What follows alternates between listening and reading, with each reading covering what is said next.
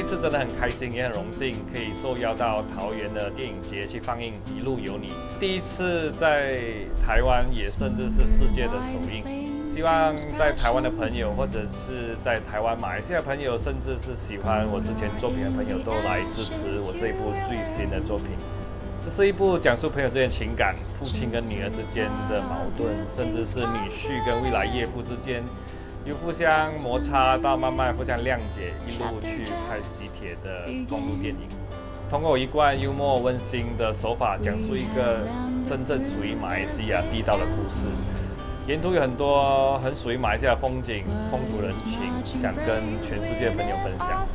再过几天就可以回到台湾跟大家见面，呃，很期待这一次跟大家的交流。